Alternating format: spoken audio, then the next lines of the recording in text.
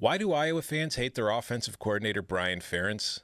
Well, have you seen Iowa's offense? It's horrible. And this is not just one bad season. This has been the case for the Iowa offense since Brian Ferentz got the job before the 2017 season. Iowa's offense ranks 105th nationally in offensive points per game, 127th in yards per game, 124th in yards per play, 105th in success rate, 126th in explosive play rate, and 108th in EPA per play. If somebody does that poorly at their job, they get fired. Well, unless their dad's the boss anyway.